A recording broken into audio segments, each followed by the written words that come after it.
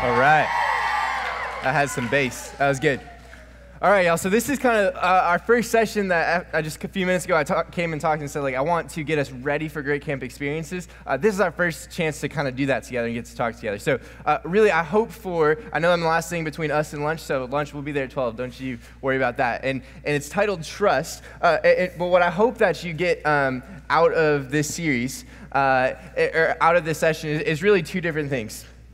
First of all, is that I hope that you get like helpful leadership principles. So I hope that in everything that we do together, that is transferable. That you can take what you talk about, what you learn, what you work on, what you grow in, and you can use it in your teams, in your families, in your relationships, in all different walks and areas of life. And I really feel like today or this session is something that you can do that with and will be really helpful with. And then I hope that you also feel like you get like a Camp 75 toolkit. That you get something that's very practical and it feels like you're walking around with like a toolbox and you show up to the camp and you, you can unpack that toolbox and you know that you're going to be better at camp as a result of having that toolbox with you. So that's my, my goal for this session and some of our day sessions um, throughout the week. So uh, we're going to go ahead uh, and jump into uh, our session um, called Trust and, and really begin talking about um, what a team is. So, um, when you think about a team, there's a definition of team. Jeremy, it's not the next slide, but a couple slides down uh, definition of a team. A team is a group of people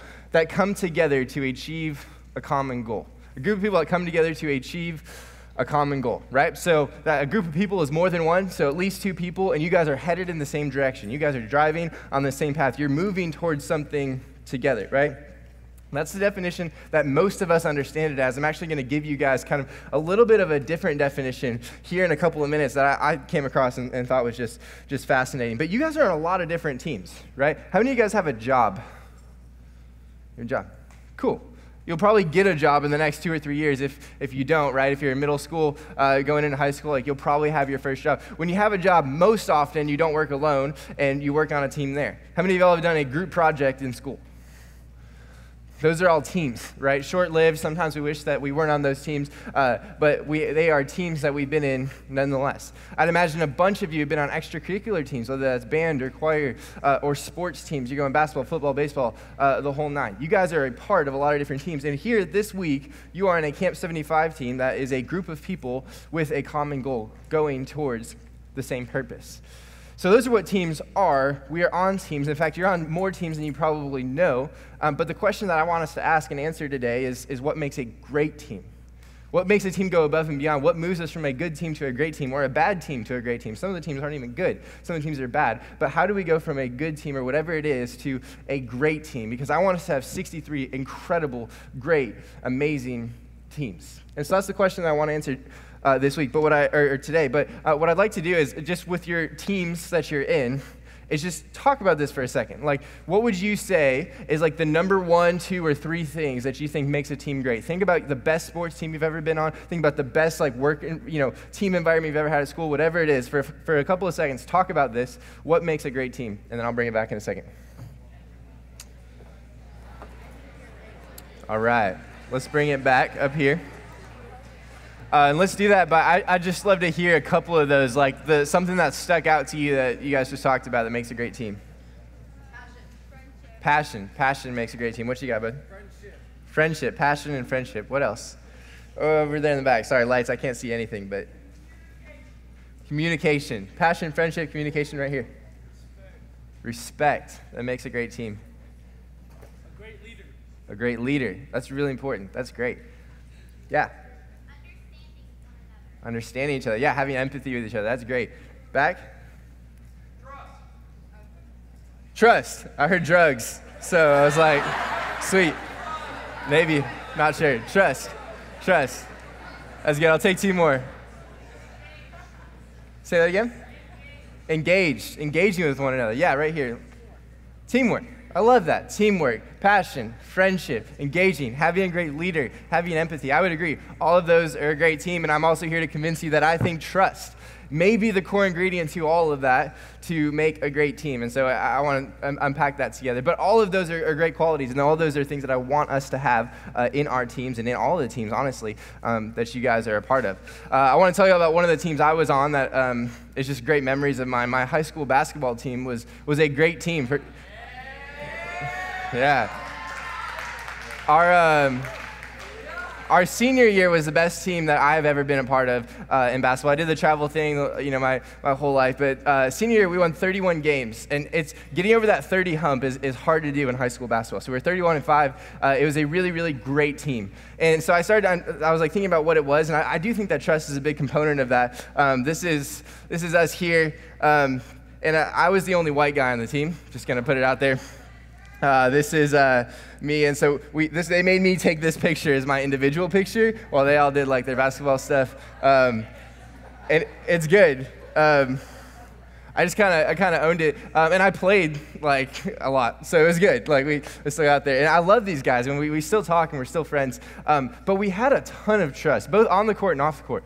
Um, we were like a jacked up team on the court and off the court. Uh, there was zero, like nobody would look at us and say that we're perfect. There was lots of trouble, lots of mess, lots of things that we had to work through together. But we trusted each other. Like in a practical basketball sense, we knew that we had help side defense every single time. We knew that we could cheat them one direction. They were always going to be there uh, when we needed them to be there. Like we trusted them to do that. Off the court, when we did get in one of those situations that was just messy, we knew that someone wasn't going to like walk out on us. We knew that they were going to be there. And that's something that actually my junior year team had a ton of talent and didn't have that. We didn't have that trust with each other. And we just underperformed as a result of that. And I think mainly because of like our, our off the court stuff. Um, but we just didn't have that trust. So I think trust goes an incredibly long way uh, and, and, so as I was thinking of trying to unpack this and looking at teams, I came across this quote, and I was like, dang, that's it. That's the glue between teams and trust. Um, and it's this guy by, uh, by the name of Simon Sinek, and we've actually talked about his ideas at camp a lot before. Um, he wrote the book Leaders Eat Last, which I think we talked about last year, um, which is the idea that leaders serve uh, he, he, wrote a book called Start with Why, which is like anytime you're talking about something with someone, you always want to talk about why before you get to the what or the how. He's just a great thinker, great business guy, great leadership guy. Um, and he wrote this on trust, and I think it's so helpful. He said this A team is not a group of people who work together, contrary to what I said earlier. A team is a group of people who trust each other. It's a group of people who trust each other. He said it's a group, it's more than one, who have trust with one another. He's like, actually, like the common goal is important, and usually they're going the same direction, but he would say that trust is the fuel that moves us in the same direction. Like that's what gets us to where it is that we're going. And I think that this is so important. So he would say, the place that you're in right now, your team will be a team if there's more than one of you, and if you guys trust each other. There's a couple more quotes from a guy named Stephen Covey that I want to share with you guys that I just think really builds on this in a really helpful way. Um, Stephen Covey says this. He explains trust. He says, Trust is the glue of life. Think about how strong that is. Trust is the glue of life. It's the most essential ingredient in effective communication. It's the foundational principle that holds all relationships. Just think for a second if you like agree with that. Like, would you agree that this is the foundational principle that holds all of your relationships is trust? If you ever had someone break your trust, Think about what that relationship turned into really fast, right? What's so interesting about trust is it can be built over time. You can put all these small investments, small investments, small investments, and be gone in an instant, right? But would you agree that's the foundational principle that holds our relationships? I would. I would. I think that that's so foundational. And then what I think is so cool is how he, he takes this from what trust is in being the glue of life. And then he has another quote where he's talking about, okay, well, then how do we get there? Like, if trust is so significant, how do we get to a place where I'm sitting with, you know, two people and we're a group, and so if we trust each other, we're a team, where you're in a place where you're sitting with six, seven, or eight, how do we build that? Like, how, how do we get tangible? How do we get real about that? And, and, and can it be built, or does it just come? Like, would you just say, well, she's my sister, she's my brother, I've been around them for 10, 11, 12, 18 years, so now I trust them, right? Is that what, what trust is? Or, or is there something else? And, and Stephen Covey thinks it can be built. Here's what he says He says, Contrary to what most people believe, trust is not some soft, elusive quality that you either have or you don't. Rather, trust is pragmatic, tangible, actionable asset that you can create. It says it's practi- practical. It's something that you can build. It's something that you can create. I love that idea to think of like, okay, if we're at ground zero, if you jumped in here yesterday and it was your first time meeting your team or your second or your third, maybe some of you it's your 10th, I don't know, but you're, you're still early in the game, right? Stephen Covey says trust is something you can actually create, that you can produce.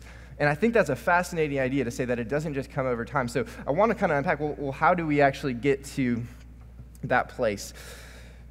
And the way I want to do that is, is by listening to a, another lady that I just so respect, um, and her name's Brene Brown. Uh, and she just has written tons of books, um, really actually foundational to my own faith and kind of my own identity, a lot of things.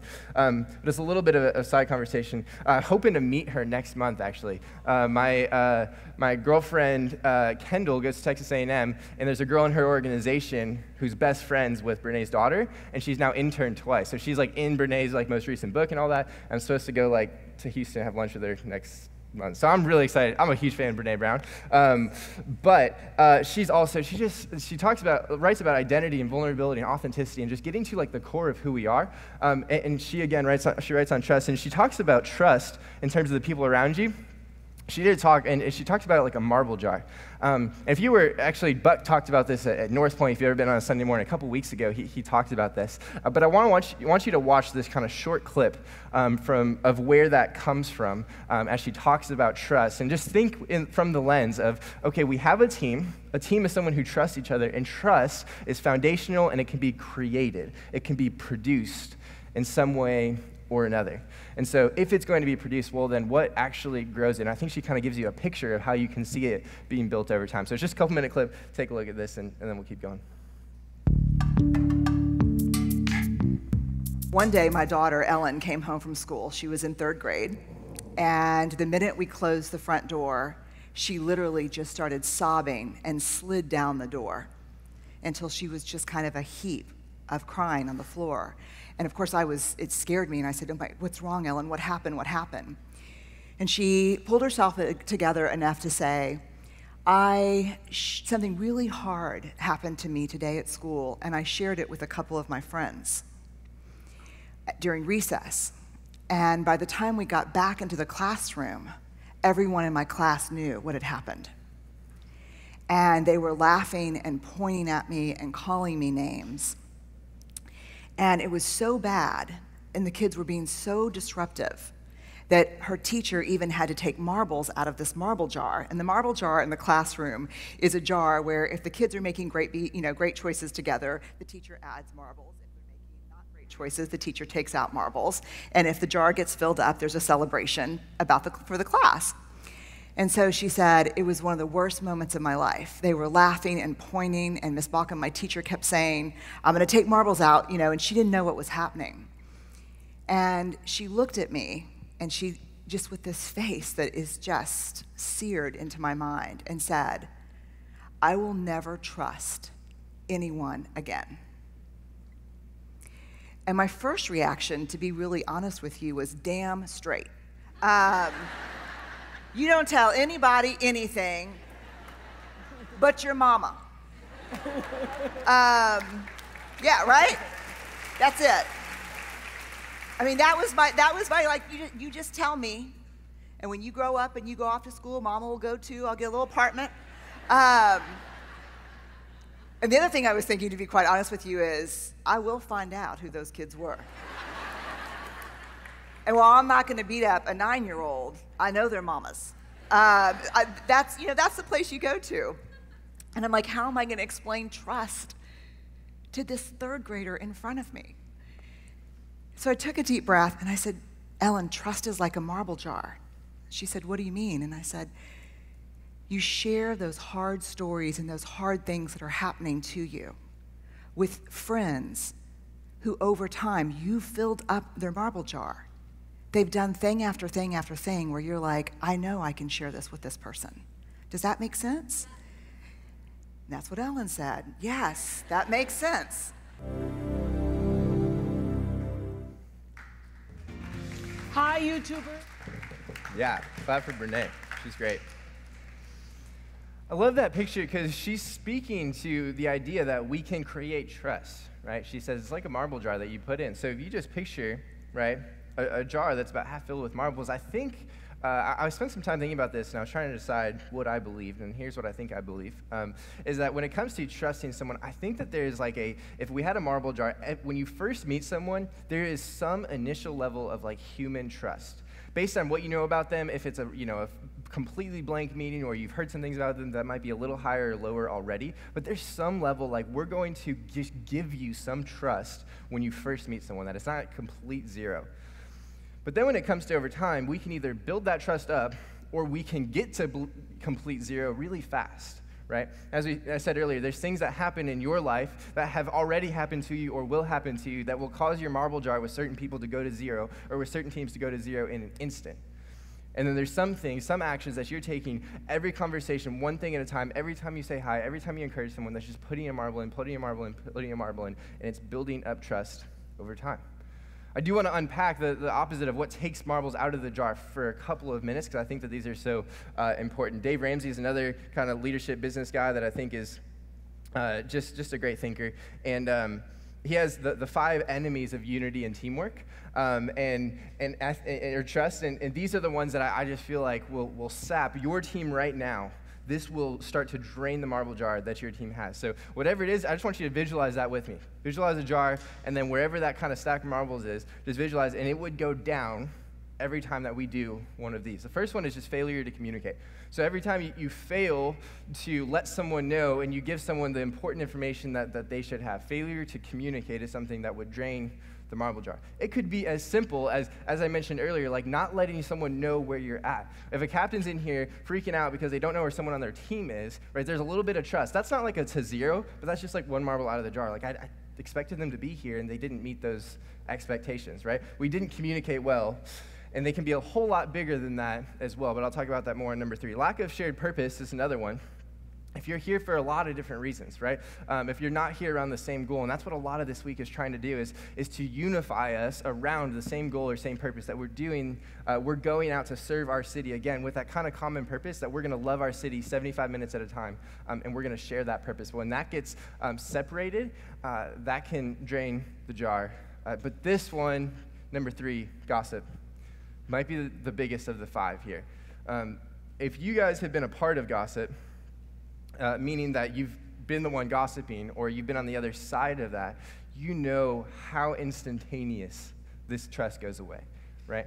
It is instantaneous. It could be friends, it could be a boyfriend or girlfriend. It can a lot of times be someone that you don't really know. Hey, I heard, and it's something that you have no way to validate if it's true.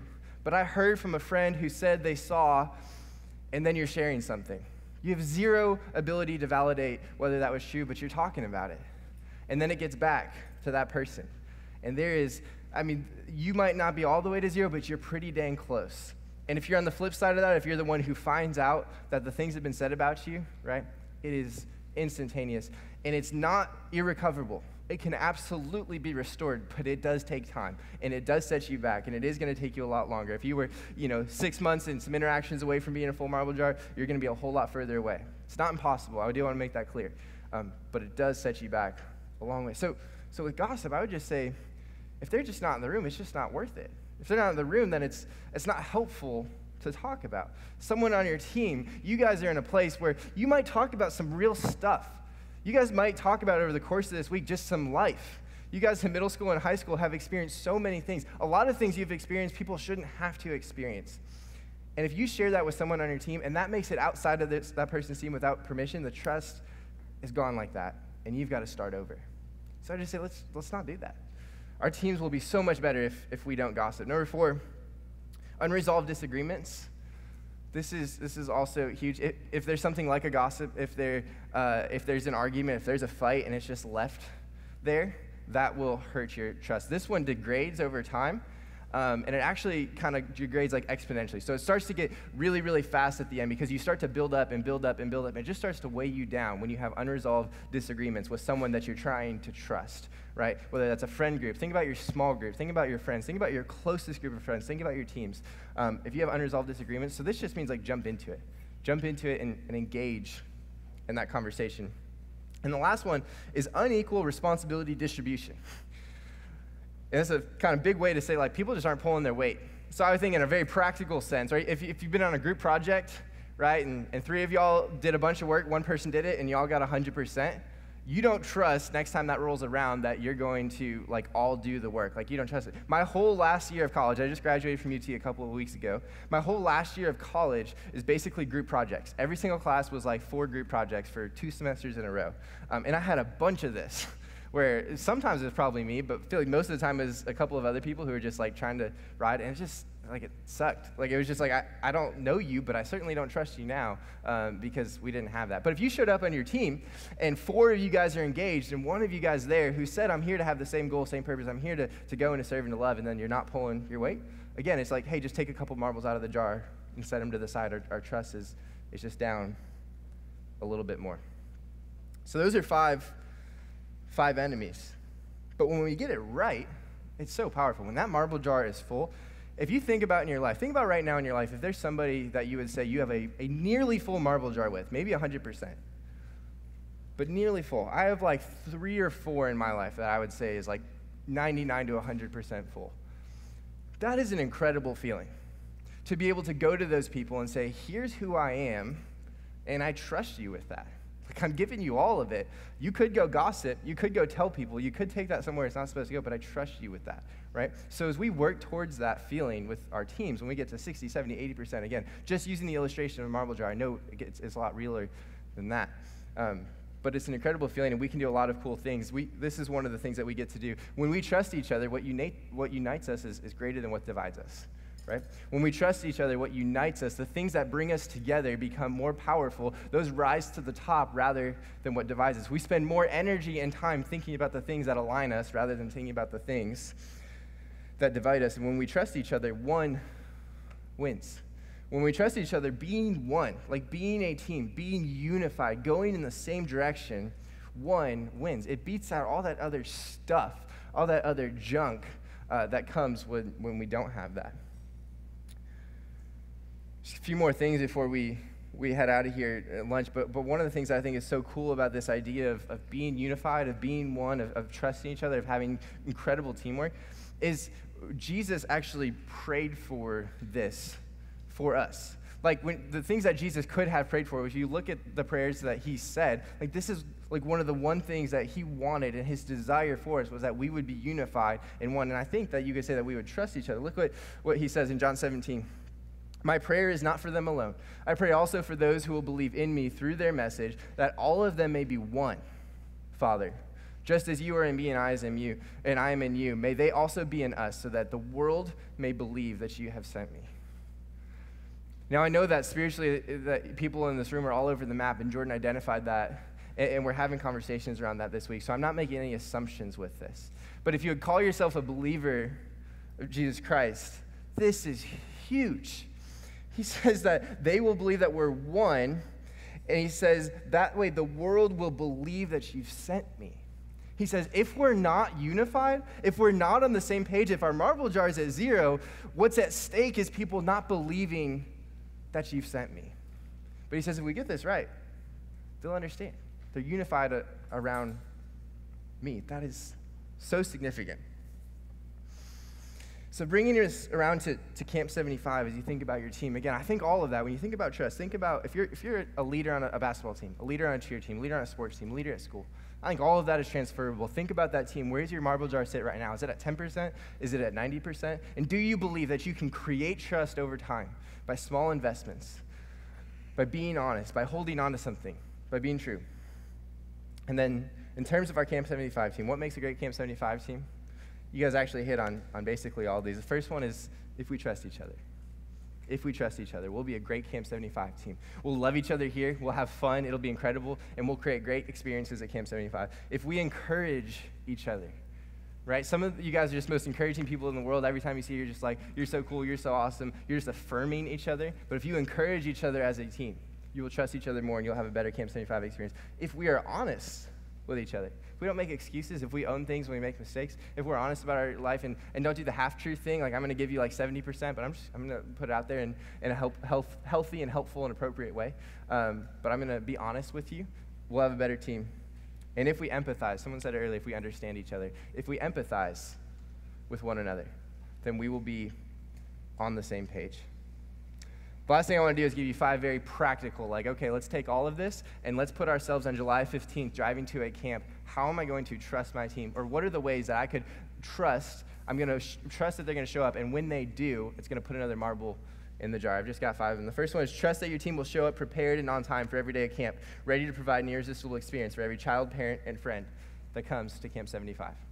Right? Trust that the person's going to show up prepared. When you leave here, you're making a commitment that we're going to do one run through, but I'm going to work the next three weeks, and I'm going to make those other camp experiences great. So you are trusting each other. It's not just a captain to team thing, it's a team to team thing. We're trusting each other to show up prepared. And when you show up prepared, it's marbles in the jar. Number two is trust that your team will be honest and communicate clearly with each other. If you're having a hard day, let people know. Like it's not bad to say that. Not be like, dude, I'm kind of off today. Today's been hard. Did you know I just mom just yelled at me at home? You just let them know, right? It's good. Be honest with each other. Communicate clearly. Encourage each other. Trust that your team will be there for you when you're just not sure what to do. If you're in a spot where like, hey, I did prepare, but I'm blanking, or I did prepare, but I'm just in a place where I, am I'm, I'm confused, or this is a situation that I wasn't prepared to handle. Like we didn't get ready for all of it, um, and you ask for help. That, that puts marbles in the jar. Trust that your team will be themselves, not putting on a front or facade to be someone who they're not. That's important, and that starts right now. I think the sooner that you get past the wall, the sooner that you get past the, this is kind of who I am or who I wish I was or what I want to be, but it's not who I really am today. As soon as you get past that and just say, like, we're jacked up, we're, we're, we're jacked up, but we're going to be honest about who we are, you just throw a lot of marbles in the jar. And then finally, trust that your team will not gossip, only speaking to each other directly when there's an issue. If something comes up, like families fight, teams fight, relationships are messy. That is good. Like, that is what relationships are. But when you go directly and it doesn't go from one layer to another layer to another layer to another layer, that's when you just throw marbles in the jar. And again, this one is like a, a turning point. It can sap it in an instant or it can build it up like crazy over time. The, the bottom line of all of that is that your Camp 75 team will be more loving, more fun, more engaging, and more memorable if you trust each other. Y'all can uh, finish putting your binders around or whatever, but I want to tell you one final story that I just think is really cool. Um, I just don't want you to be distracted for it um, as we do it, and then we're just a couple minutes from lunch.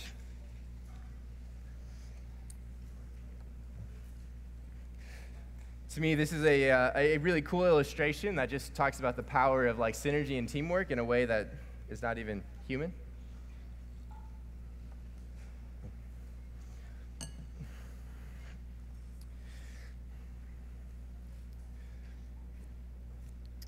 There's a, uh, I'm not a big like outdoors guy or a big like animals guy. I'd rather be inside with like a laptop in a city. But, um, but I read about this, so I know it's true um, but I haven't experimented with it myself. Um, but there's a, uh, an animal called a Belgian plow horse. Okay, so I don't know if you guys have, have seen this thing before, but they are like sturdy, right? Like, like they're thick. Um, I have seen like the buds, two C's. I have seen the the Clydesdales in person, um, like the, the Budweiser Clydesdales, they did like a tour, went to the Express. And I saw those things are, are massive. These guys are, are big. Um, so one of these guys, you guys might know this. Do you know how many pounds it can, it can pull? 8,000.